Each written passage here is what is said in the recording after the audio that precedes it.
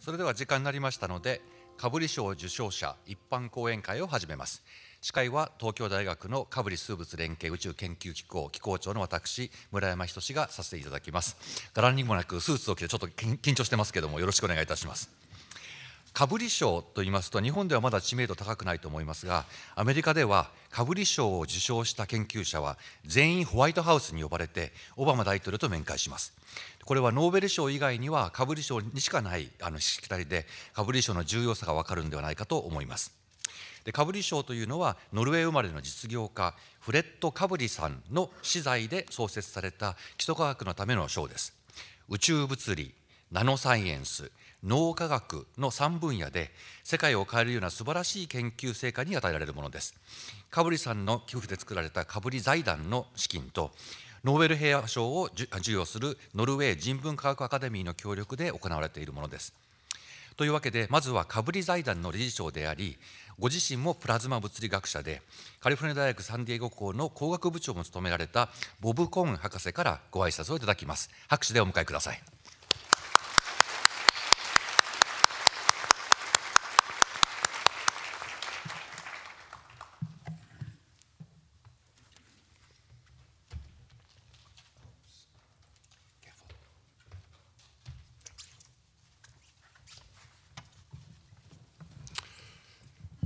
Good morning. おはようございます。ああるいは、こんにちはと申し上げるべきであったかもしれません。お集まりの皆様を見て本当に素晴らしいと思います。えーこれだけ多くのえ皆様が土曜日の午後にお越しくださいました。基礎科学の講演を聞くためにです、えーとても胸がワクワクします。それだけ関心を持っていただいていることについてです。えまず、えー感謝申し上げたいと思います。多くの方々に感謝を申し上げます。えーまず村山仁教授、かぶり数物連携宇宙研究機構機構長を東大で務めておられます。そしてその、え有能なスタッフの方々、特に榎本優子さん、産むことなく、えーこの、えーイベントに向けて、えー準備に当たってくださいました。御礼申し上げます。えーまた、ノルウェー大使館のリーメスタット大使にも御礼を申し上げます。えーまた、えー大使のスタッフにも、えーこのイベントのためにパートナーを組んでいただいたことに御礼申し上げます。また、ノルウェー科学人文アカデミー議長のキルスティ・ストレーム・ブル博士、え今年は議長をお務めですけれども、御礼を申し上げます。パートナーとして、かぶり賞、えーを、主催をしてくださっています。今回が2回目となりまして、かぶり賞受賞者の講演会が東京で2回目に今日行われます。1回目は2013年でした。そして非常に多くの方々が本日もこのようにお集まりくださって大変素晴らしいと感じています。本日はお二人の類まれなる科学者が講演をしてくださいます。お二人とも2014年のかぶり賞の受賞者でいらっしゃいます。えー宇宙、えー物理、宇宙、えー学論えーの分野の受賞者、そしてナノサイエンスの分野の受賞者の方々です。えーまた、えーそれそれ以外にちなみに脳科学の分野でもかぶり賞は授与されています。アラン・グース博士はアメリカのマサチューセッツ工科大学の先生です。そして発見者、提唱者、えーとして知られていまして、宇宙インフレーション理論の発見者、提唱者として知られています。後ほどグース博士にお話をいただきますけれども、ビッグバンがあったということ、そしてなぜ宇宙は今のような状態にその最初のビッグバンの後なっていったのかということについて最初は理論がありませんでした。宇宙はえこのような見える形になっている。そして膨張している。え膨張している理由はえまだ分かっているというふうに感じられていますけれども本当は分かっていないのかもしれません。えそしてグース博士のえ理論はそれを説明する上でえ大変洗練されたものであります。非常に短期間、ビッグバンの直後の短期間に宇宙が膨張したという理論です。それを拝見しますと、インフレーション理論というのは本当に科学的な発想としても過去半世紀ほどの間で目覚ましいものの中に入ると思います。本当に驚異的なアイデアだと思います。それからストラスブルグ大学のトーマス・エベセン教授にも講演をいただきます。教授は穴が開いた物質のシートを光が透過をすることができると発見されました薄い白フォイルのような形の物質ですただその穴というのは非常に小さいそして光の波長よりも小さい穴であるにもかかわらず光が通過できるということを発見なさいました。光の波長が穴の規模よりも大きかったら光はその穴を通ることができないと考えられていましたけれどもそうではなかったということが分かりました。そしてトーマス・エベセン教授はそれを発見したお一人で物質の中の穴で光の波長よりも小さい穴を光が通過できるということを発見なさいました。後でお話しなさると思いますけれども、え有理化の瞬間あっと気がついた瞬間についてお話ししてくださると思います。観察をしていることが現実に起こっていることであって、え実験上の、えー人為的な誤った産物ではなく現実のことなのだと気がついた時が幽霊化の瞬間だったとお話しいただけるのではないでしょうか。こういった科学というのは非常にクリエイティブでエキサイティングなものです。そしてインフレーション理論について応用はまだされていません。少なくともまだ今のところは応用される科学ではありません。純粋科学として理解を深めるために行われた科学です。その一方でエベセン教授は実践的な現実的な問題を解決をされようとしていました。そして先生の発見は現現在さまざまな実際の応用がなされるものです。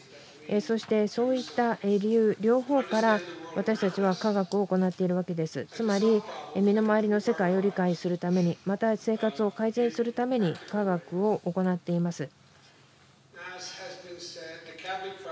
カブリ賞はノルウェー科学人文アカデミーそしてノルウェーの教育研究賞どちらもノルウェーの機関ですけれどもそしてアメリカ・カリフォルニアのカブリ財団が共同で授与をしている賞です。そして2年ごとに2008年、2010年、2012年といった形で偶数の年に3つの分野で賞が授与されています。宇宙物理、これは宇宙学も含めて、そしてナノサイエンス、それから脳科学の3つの分野です。2008年に1回目の賞が授与されまして、それ以降、3つの大陸の31人の卓越した科学者がカブリ賞を授与されました。そして科学の最高を体現をする方々が受賞されています。宇宙の秘密を明らかにする、えそして自然の最も小さな構造物を解明をする、えまた複雑な人間の脳、そして心についての研究を進めることによってです。そしてこれは非常に重要なことです。決してかっこつきで話をするような内容ではありません。科学というのは私たちの寿命が平均で60%、1世紀前よりも伸びているのも科学のお金おかげです。これは本当に目を見張るべきことです。その理由は今、さまざまな発見がなされたからです。医学、そして生物学の分野だけではなく、エンジニアリング、テクノロジー、そしてその他の科学的な分野でも発見があったからです。何を意味しているのかと言いますと、将来、脳を理解することによって、そして脳の病気を理解することによって、そして、それを理解するということがますます重要になってきます。おそらく身の回りにアルツハイマー病であるとか、それ以外の、脳や心の病気の方が身の回りにいらっしゃるのではないでしょうか。100年ほど前までは知られていない病気でした。それほど長生きをすることがなかったからです。しかし、今やとても重要な問題になっています。受賞者の先生方、今年は特に人間の尽きることのない好奇心を象徴なさっていると思います。そしてその好奇心がカブリ財団の原動力となっておりまして、カブリ財団の創設者、フレッド・カブリの原動力にもなっていました。フレッド・カブリの名前を取ってカブリ賞とされていますのでフレッド・カブリについて少しご紹介したいと思います先ほどお話しましたがノルウェー生まれのアメリカ人ですノルウェーの西側の小さな渓谷地帯で生まれましたそして生涯好奇心を持っていまして宇宙について身の回りのことについてそして宇宙の中の人間の存在についてずっと好奇心を抱えていました。幼い少年だった頃から好奇心を持っていてフレッド・カブリはノルウェーの北の空を見上げていた。そしてオーロラなどについてどうしてそういうものがやってきたんだろうと不思議に思っていたと言っていました。その好奇心をずっと大人になっても彼は持ち続けていました。1950年代にアメリカに移住しその後40年間にわたり実業家として大いなる成功を収めました。そして彼はしかるべき時が来たと感じたのです。2000年のことでした。そして少年の頃からの好奇心について具体的に対応したいと考えかぶり財団を設立をし基礎科学を支援し人類に貢献をしようとしました。このかぶり財団は基礎科学を支持しそして触媒となって支援をしまた実現を可能にすることを支援することのために作られた財団です。そして世界を理解しようとする欲求。例えばアインシュタインもそうですけれども世界を理解しようとするえ欲求についてあるいは問題を解決したい。え例えばえその代表的な人はパスツールと言えるでしょう。医学の分野での殺菌消毒などえもパスツールえによって解明されています。そして基礎的な知識を作り出すえ工場のようなものと基礎科学は言うことができるでしょう。そして人々の生活の質そして社会を改善するために基礎的な知識が蓄積されそれを支援するためにかぶり財団が作られました。東大のかぶり機構のお話を先ほど申し上げましたけれどもアジアヨーロッパアメリカに20のかぶり機構がありそれは1つのミッションを掲げています。の神経科学、宇宙物理学、宇宙学、ナノサイエンス、理論物理学の人類の知識の境界線を広げるためということです。そしてそのために無制限に資金が提供されています。何のために資金を使うべきかということは財団の方からは指示しません。各かぶり機構に対し年間の資金を提供しそしてかぶり機構側においてはそれを最高の最も優れたアイデアに自由に使うことができます。ただ唯一期待されているのはあえてリスクを冒してほしいということ。そして最も途方もないような優れたアイデアを追求してほしいということです。20のかぶり機構に対して財団から提供される資金は科学者が最も大切と考えるものに費やされます。最もエキサイティングなアイデアを追求するためにリスクにはかかわらず資源が投下されています。かぶり財団は科学的な変化をもたらすために作られました。そしていくつか主だった特にアメリカにおける科学プログラムについてもかぶり財団は関わっていることで知られています。アメリカで最もよく知られているところではオバマ大統領が2013年に発表したブレイン・イニシアティブというものがありこれは全米のイニシアチブです。先ほど申し上げたような理由から脳の研究が重要だからです。そしてホワイトハウスにも招かれましてブレイン・イニシアチブの立ち上げの式典が行われ私たちも招かれました。人間の脳の仕組みについて解明をしようというイニシアチブです。フレッド・カブリは2013年に亡くなりました。しかし彼のビジョンは引き継がれています。そして彼が生涯をかけて実業家として築き上げた資産によってかぶり財団はこれからも恒久的に基礎科学を支持し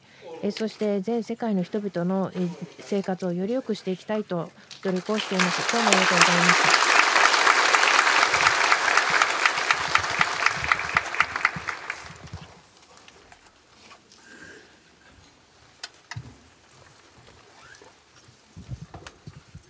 大館博士ありがとうございました今回の講演会はカブリ財団、今お話しなたカブリ財団と、それからノルウェーの人文科学アカデミー、そして在日ノルウェー大使館と、そしてその今お話にあったように、カブリ財団からサポートを受けている、我々カブリ数物連携宇宙研究機構の共催です。そこで今日はノルウェー大使、在日ノルウェー大使のエルリング・リメスタットあの大使にお話をお願いいたします。拍手でお迎えください。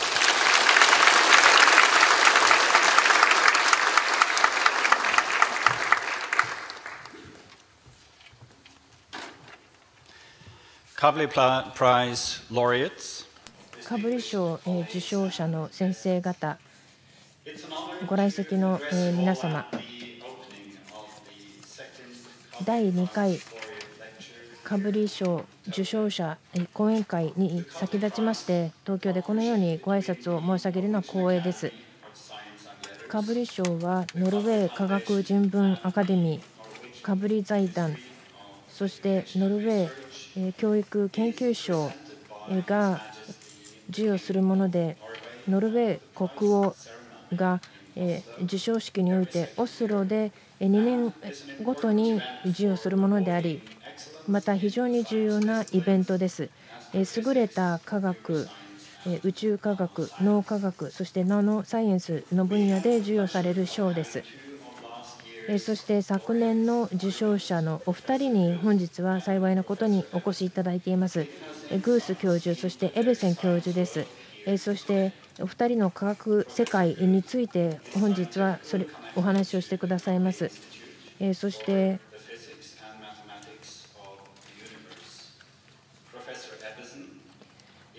グース先生は、えー、カブリ生物連携宇宙研究機構とも関係がありますし、エベセン、えー、先生はスイス、えー、国籍でいらっしゃいまして、世界各地でさまざまな研究をなさっておられまして、日本でもかなりの年数を過ごされまして、ナノチューブを飯島教授とともに発見をされました。そしてこういった重要な発見をナノオプティクスの分野でなさっています。そしてその結果、2014年のカブリ賞を受賞なさいました。ノルウェー大使としまして、駐日ノルウェー大使としまして、私たちはお二人に非常に追うところが多いと思っています。日本とノルウェーは科学、そして技術の分野でさまざまな分野で協力を行っています。そして2国間の協定を2013年に結んでいます。失礼、2003年に結んでいます。優先順位の高い分野の一つがナノサイエンスです。2013年以降、日本のパートナーとともに日本、ノルウェー科学ウィークを主催をしています。そして2カ国の主だったサイエンティストがその際に集まっています。今年は環境に優しいエネルギーを取り上げました。そして70人の科学者がノルウェーから集まり、そして日本からは200人以上の科学者が集まりました。2016年の、え極の世界北極な、え、北極の科学ウィークということを考えています。えそして、え北極圏の問題について議論がされることになっています。また、東京大学にはカブリ数物連携宇宙研究機構が置かれていますけれども、ノルウェーの研究教育機関、え、多くの分野の研究教育機関にとって重要なパートナーであられます。したがって、え、共催をすることは光栄なことでございます。え、非常に努力をしてくださいました。この講演会の準備にあたって、え、ご尽力をいただきました。えそしてお越しの皆様はお楽しみいただけることと思います。科学の境界を押し広げていくようなナノサイエンス宇宙物理学のお話を楽しんでいただけると思います。そして一番小さなものと一番大きなものが今日は出会うことになるでしょう。最後になりますけれども、共催のかぶり機構かぶり生物連携宇宙研究機構に御礼申し上げます。またかぶり財団そしてノルウェー科学人文アカデミーに御礼申し上げます本日の午後どうぞお楽しみください。えそして、え優れた科学、えグース教授そしてエベセン教授のお話をお楽しみください。ありがとうございました。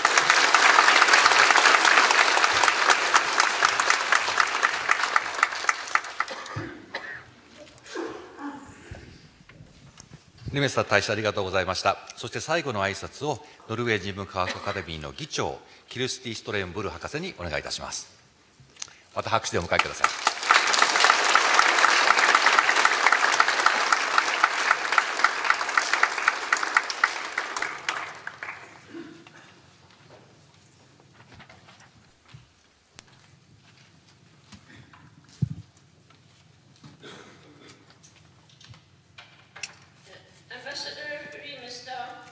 大使村山先生、今先生、カブリ賞受賞者であられるエブセン先生、グース先生、ご来賓の皆様、え本日はノルウェー人文科学アカデミーといたしまして、え東大かぶり財団ノルウェー大使館と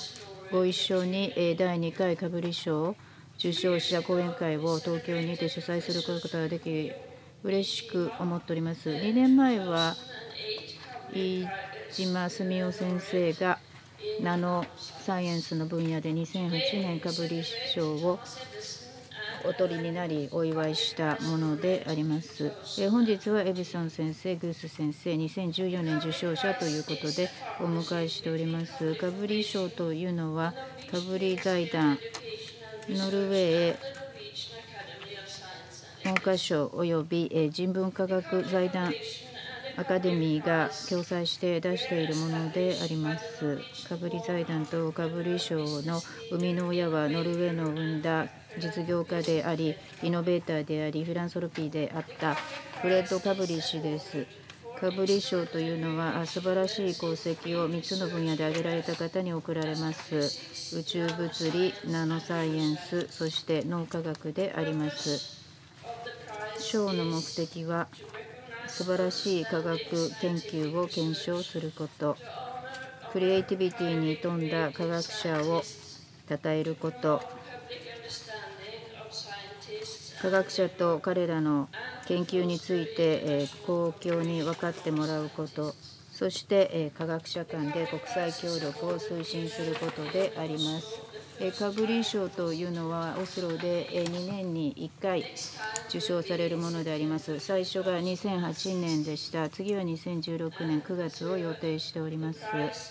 そして今ご案内にあったように賞はノルウェー国王自らが授与なさるものであります。今までのところ日本からはお一人受賞者が出ておられます。飯島澄夫氏です。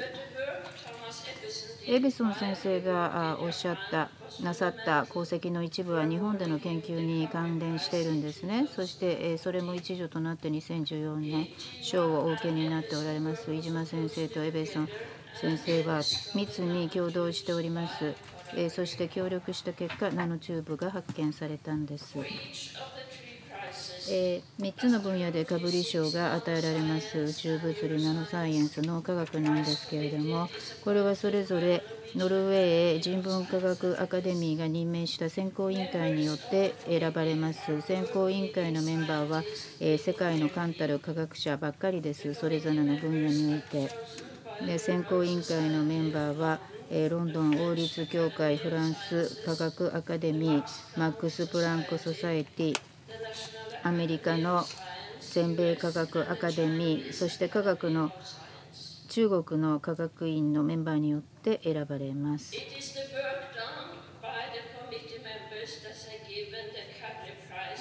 厳しい選考を通った方に栄えあるかぶり賞が授与されます。とても定評高いものでございまして、記念講演会も